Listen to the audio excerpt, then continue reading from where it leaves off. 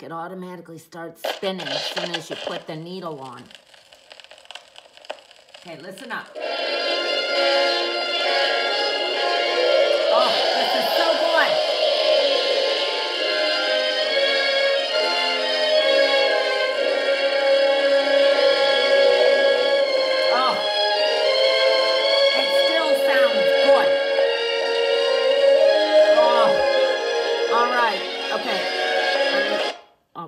It automatically comes off.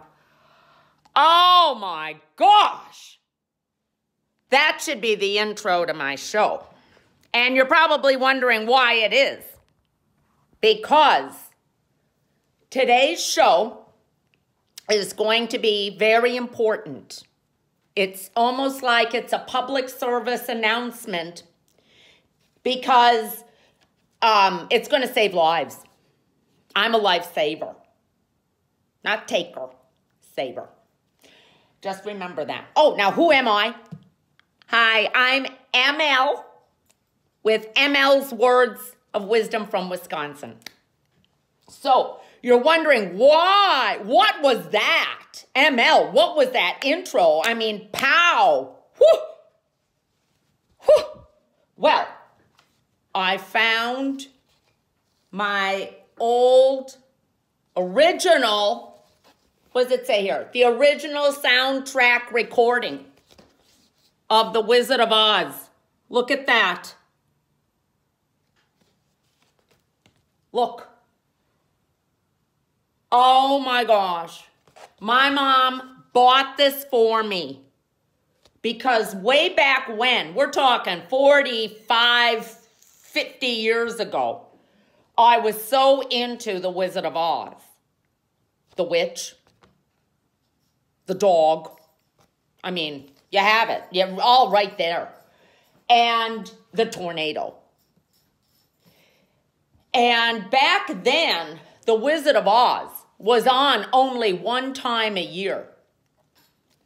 We didn't, whoops, we didn't have, you know, like um, Netflix and stuff like that. It was like, it was during spring, it was like March time frame.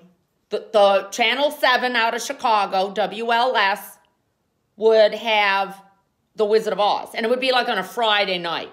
And we'd all get together, my brothers, my mom and dad, we'd all be in one room and we'd, we'd make popcorn in the big um, paper mache bowl that we used to make paper mache. It was this big bowl, plastic thing. And we'd watch The Wizard of Oz. And it when they went from black and white to color, we'd all go, oh. And then we'd all debate why that happened. And someone in the crowd, my mom or somebody, would say it was because they ran out of money. So they had to only use the color, which costs more, the color film for the the Emerald City and the and when they go to see the wizard, they didn't want to waste the money in Kansas. Sounded good to me back then, but now I guess it's like, you know, the, the Freud dream thing now or whatever. Now we know. But anyway, back then, that was a good enough excuse to explain away all that confusion. Anyway, so why am I talking about The Wizard of Oz? Because today I talked with a friend of mine this morning. I didn't know what my show was going to be about. And this friend called me up with chit chat, chit chat, and she says, ML, did you hear about those tornadoes in Alabama? And I said, Oh gosh, yes, it's just terrible. Those people had no warning, they didn't know what to do. And my friend said, ML, have you ever been in a tornado? And I had to stop and think. In Kenosha, Wisconsin, we we we had tornadic experiences that I'll tell you about and we had some storms that would come in. And Lake Michigan we lived right across the street from a park and then it was the lake. And the Lake Michigan act acted like a, a vacuum. It would just suck all the storms right over our house into the lake. So we did see some whoppers come through out of the northwest, but uh, I, I really can't say that I've been through a horrible experience like that. But I have done some research. I went on the computer and I found some information that I'd like to shoot out to you about what to do if you are in a tornado or you have tornadic activity. That's what they call it. Okay. So what so what's the whole why tornadoes? ML. Why tornadoes? What what was going on with this Wizard of Oz thing? Well, so we'd watch The Wizard of Oz on that Friday in March. And when they showed that tornado going through Kansas, going back and forth and back and forth, and the, the dust flying up, and it was all in black and white, and, and Dorothy's got the dog, and she's like feebly pounding on the storm cellar, and Auntie Em, Auntie Em, Dorothy, you know, they're calling all this kind of stuff. Oh my gosh, I was just like all spun up myself. I was all in a frenzy because I just loved the drama of that. It was so exciting, so scary. oh my gosh. So I convinced my parents that I wanted the Wizard of Oz record. We called them records back then. Nowadays, you call them vinyl. I was playing it on my daughter's record player. She calls it like a, you know, vinyl, auto, whatever. I don't know. They have all these new terms for it now, but it was a, a record. And so I had a little record player when I was four years old. And I would try to convince my mom. My bedtime was 7.45 p.m. in the summer. And it's still light out. I'm like, my God. In Wisconsin in June, in the summer, the sun doesn't set until like 9.15 p.m. So, you know, I'm lying in bed. I've got a lot to do. You know, it's still light out. I can still do a lot. So I convinced my parents to let me listen to my Wizard of Oz album. Just side one, not side two. I hardly ever listen to side two. It's it's it's practically in pristine, you know, no scratch. And I would reenact the whole thing. Auntie Em, Auntie Em, you know what Miss Gulch did, said about Toto? She said she was going to, oh, now Dorothy, we're trying to count, you know, all that kind of stuff, the chickens, all this kind of stuff. And then the tornado comes and they start playing the sound of the tornado. And by this time, I'm standing in bed. I've stripped all the sheets off the bed. I'm swirling them around, knocking my Peanuts poster off the wall. I'm like all worked up. I'm I'm like jumping around on the bed, and my mom is like knocking on the door. Knock it off, turn it down. And I'd say, just side one, just side one. 15 minutes. I would never get to sleep. I'd be up till like one, all worked up. So, does that make me knowledgeable about tornadoes? I think so. I think so from a very early age, I was fascinated by their power. So, uh, you may say, like, well, what what kind of things, storms did you have growing up in Kenosha? And I'll tell you what. We had, like I mentioned before, we had a lot of storms that would go over our house and get sucked into Lake Michigan. And I always wanted to be a meteorologist, a weather person, so I could understand why. My dad would say the lake acts like a vacuum. I didn't know what that meant. I still don't know. I don't know if it's true, you know, or not. You know, they fooled me with that black and white into color thing with the cost of the Wizard of Oz movie. So, you know, who are you going to believe, you know? So uh, the, the meteorologists, of all the people, I think, at a TV station, the weather people are the funnest. They they they are like the the the people who go out to meet with the kids. You know, they go to they judge coloring contests and you know like um, pie eating contest the weather person from the local station goes to cover it you know like a like um a baby giraffe is born at a zoo you know. And so they'll go and co- cover it, and the kids are naming it, you know, I want to name it Tommy, you know, that kind of thing. It's kind of fun. And so they get these fun little gigs. You can't send a sports person because they're not into that. And the anchors, they they have to stay at their desk because the, you know, breaking news comes in. They got to be ready. And so like the roaming reporters, they're too busy out there covering like local news. And and I learned this cuz normally we watch cable news. So, you know, I'm I'm like looking at the the nation and the world and you know, I hardly know what's going on in my own hometown here in my own down the street, you know. Uh, and so one time I had a friend who lives out in the county and she sent me a text. And she said, ML, she has a friend whose friend's daughter was kidnapped. I mean, big story, big story. Kidnapped out in the county. She said, turn on the evening news tonight to watch the coverage. Okay, so I, six o'clock, that's I think when it comes on. Get my daughter, we're gonna watch this show. And, oh, look, look, okay, this is a little commercial. Speaking of shows, I put this pin on because it reminds me of a swirling vortex of a tornado. Because I, it was what this show was going to be about, what to do in a tornado. But anyway, before we get there, we got to talk about this news thing. So the the news. So we're watching this local news, and it's like, uh, car runs through T intersection stop sign and goes into house. Stay tuned. More after this. And we're like, oh my gosh. How did that car get going so fast and then it just slams into somebody's front living room? How does that happen?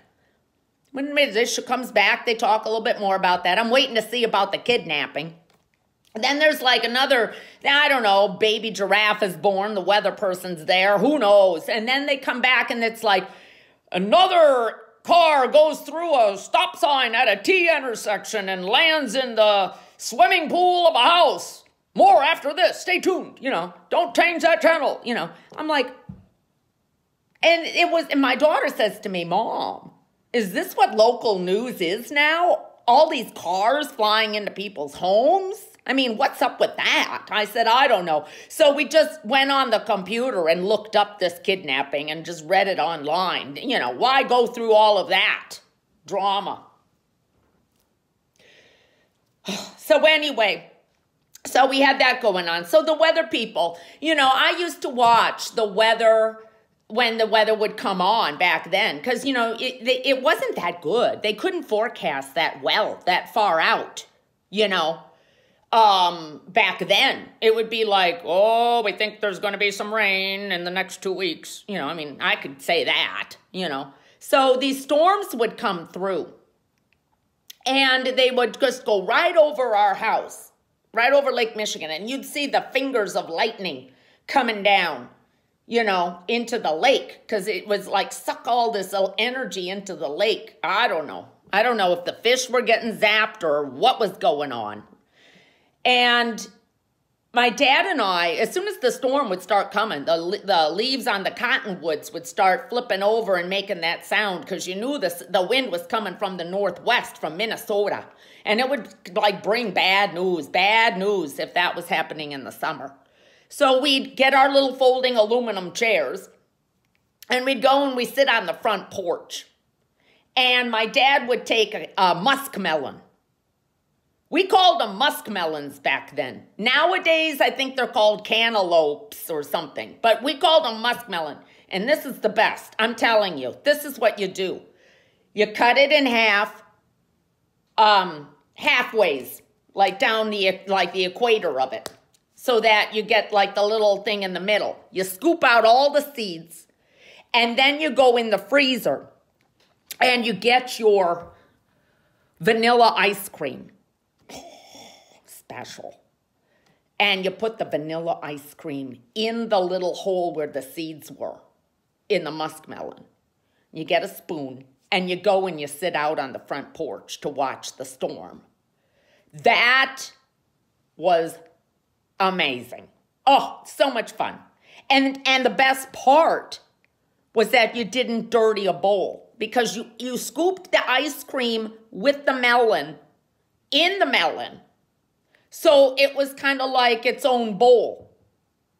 Genius. We were just genius back then.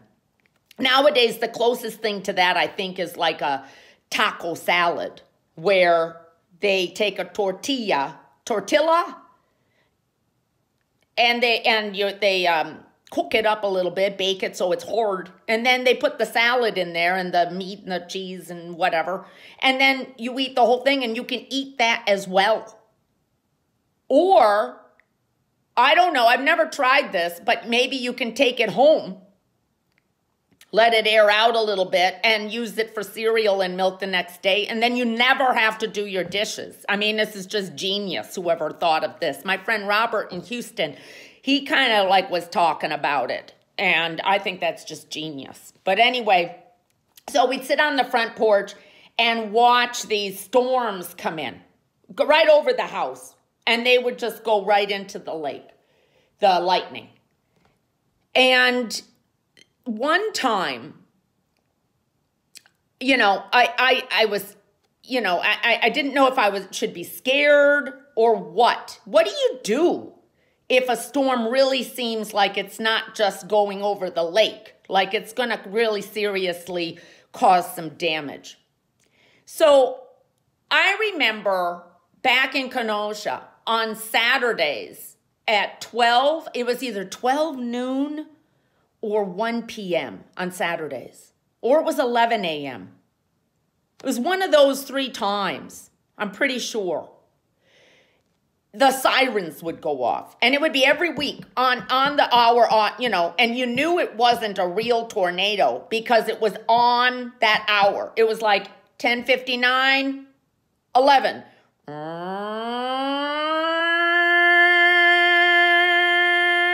and it would stay like that for like 30 seconds.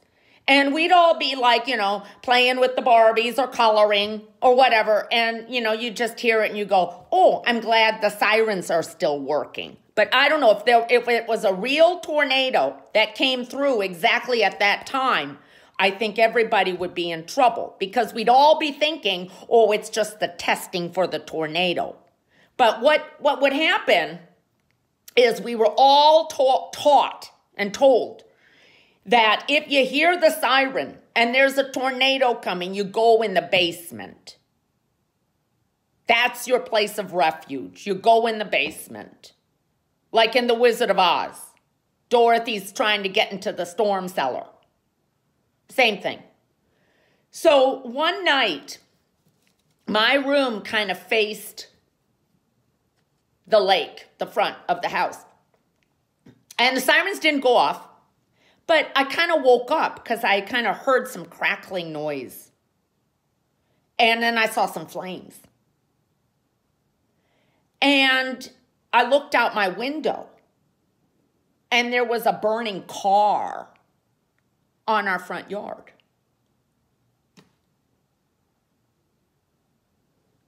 Now, there were back then in the 70s, there were a lot of kids kind of like confused, didn't know what was going on, smoking pot across the street in the park. I was not one of them. I was always practicing my clarinet. But these kids, I guess somebody called the cops on them or something. And I think they thought we did, but we didn't. And so, as like a warning, they stole someone's car, I don't know, put it on our front yard, and lit it on fire. So I just go into my parents' bedroom and I'm like, Mom, Dad, there's a car on fire on our front yard. And my dad says, Go back to bed. Like he's going to believe me with my crazy imagination and, you know, all of that. I said, No, I'm serious. So he gets up and he looks, he's like, oh my gosh. And so then he goes over to the phone. And back then we didn't have 911. You had to dial a seven digit phone number on the landline, the, the rotary dial on, that was mounted on the wall. And it was something like 652, I don't know, like 9734 or something. It wasn't an easy number to remember. And so, you know, he's dialing, oh my God, in case of fire call, you know. So, you know, then the sirens, the fire all this. I'm like, oh my God, it's the sirens. So I grab my little dog, Happy Hooligan, poodle, and I run to the basement because I'm trained. Bam, I go right down. And my mom says, What are you doing? I'm like, It may explode. And I run down to the basement with the dog. Oh, that was just exciting. That was like the closest I came to like having to go to the basement at that house. But I have been in other situations where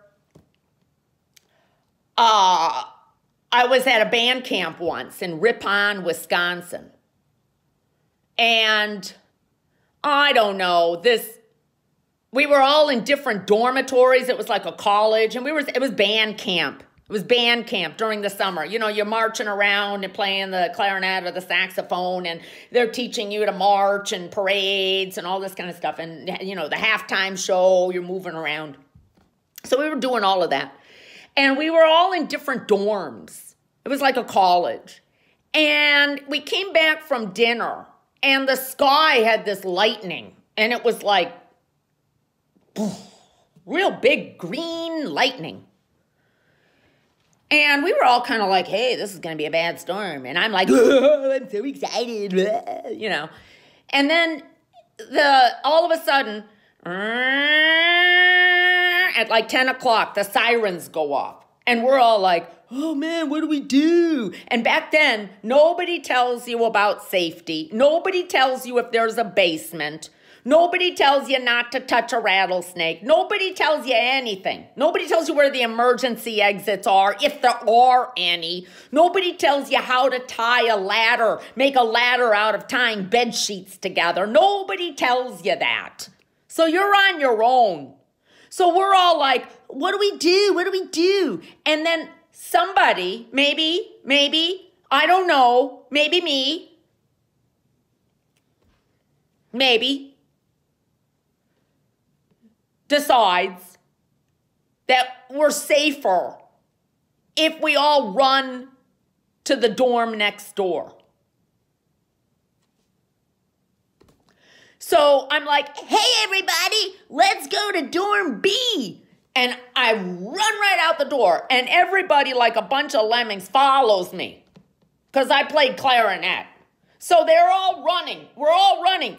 Ah, and the lightning flashes right around us and our hair goes like i just washed my hair that's why it's all flat right now but if i didn't wash it it would be like you know and we're all running to the dorm next door and this green lightning it was like neon green lightning flashes and lights us all up like skeletons and we're all running to the dorm next door. We get to the dorm and we're knocking on the door. Let us in, Auntie Em, Auntie Em.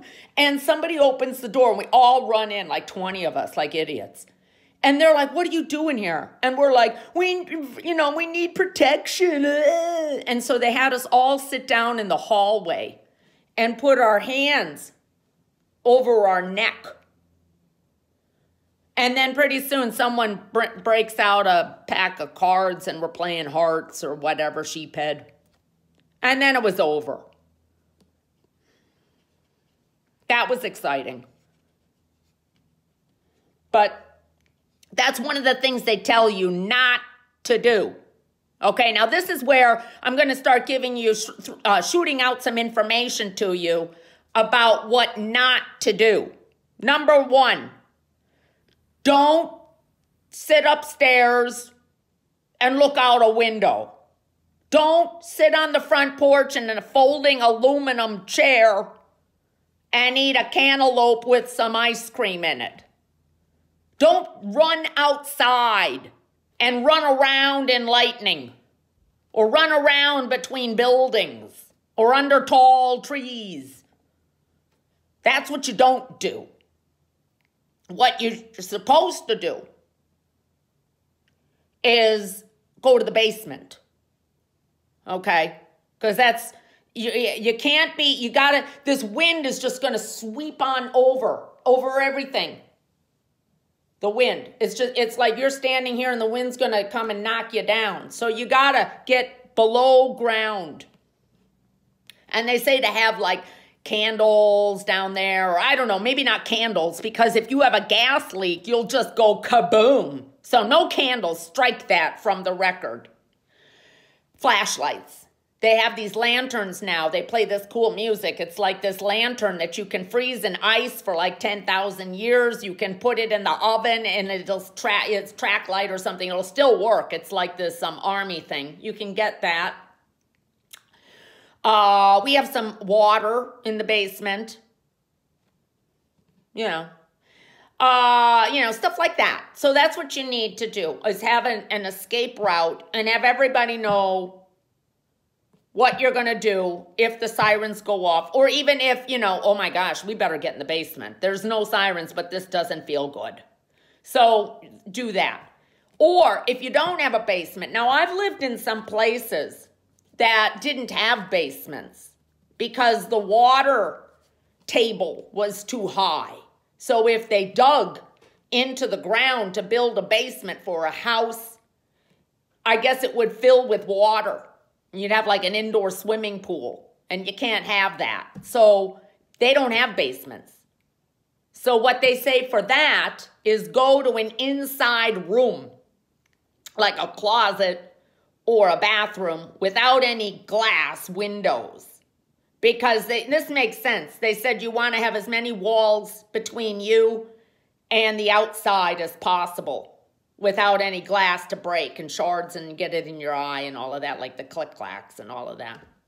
So they say to do that. Now, they also say that if you're driving in a car,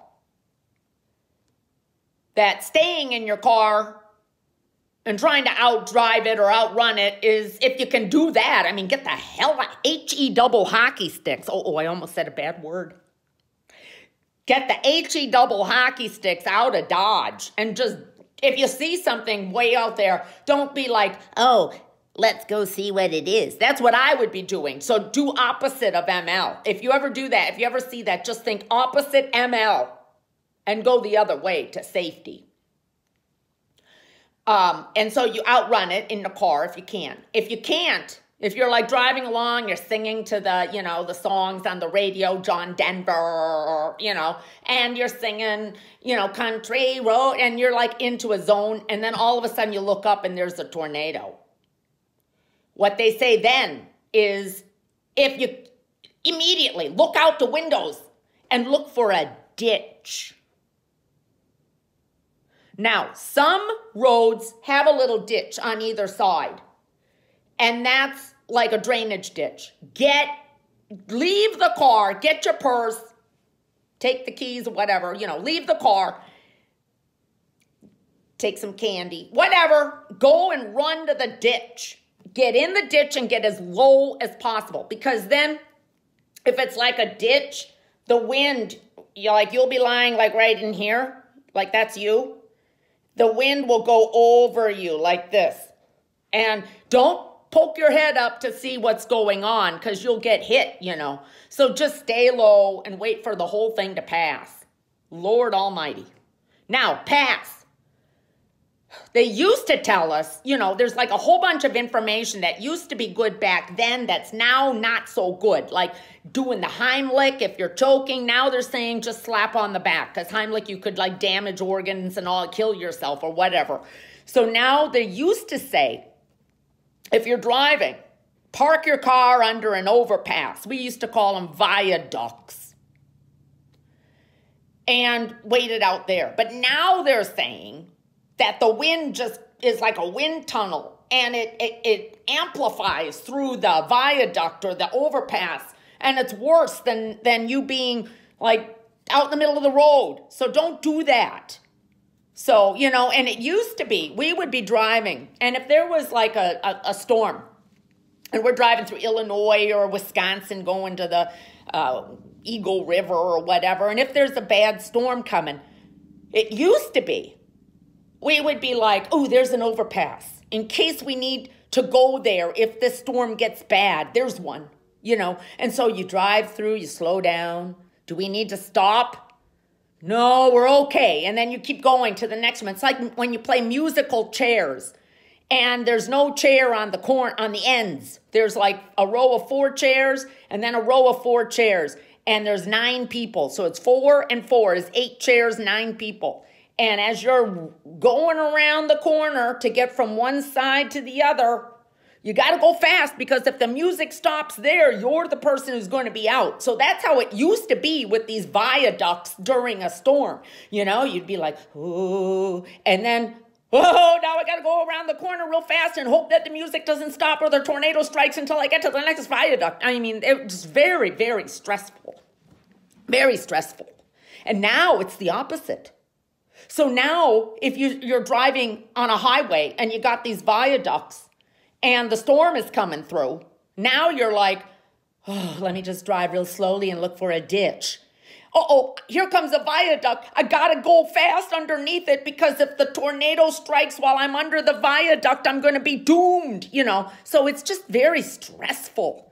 So, you know, you just gotta calm down, listen to your John Denver, and then like know your surroundings, you know that's just how that's another thing that you need to, to know. And if you're in a, uh, an rv or a mobile home don't stay there. Oh lord have mercy. These winds will just pick those little things up and toss them around like a saltine cracker. It's just so sad. And that's where a lot of these people lose their lives. And so speaking of that you know, i have been giving you a lot of good information, a lot to digest, a lot to absorb, soak in, think about, think always about safety. But let's take a moment to think about those people who have lost their lives.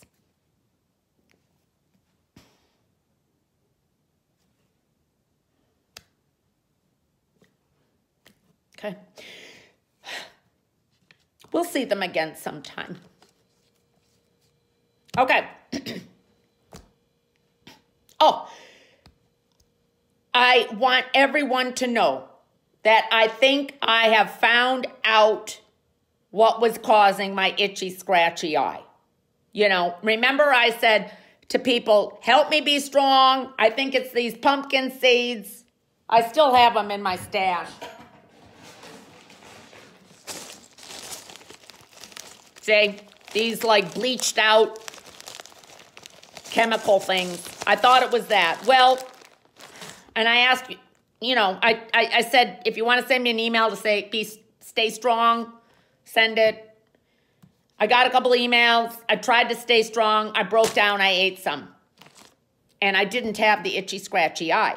So it was good that that happened. Then I ate some chili flavored pistachios that expired about four months ago. And I thought, you know, there's so much food nowadays that it expires. And, you know, like if it's dairy or meat or something that needs to be refrigerated and it expires, throw it away. I mean, I hate to throw food away. I, I hardly ever do because I'm really on top of managing these expiry dates. But if it's like chips, nuts, pistachios, um, cereal and mixes and stuff like that, you know, I'll I'll use it for like 4 to 6 months after it expires. You know, it just depends how much chemical is in it and that kind of thing.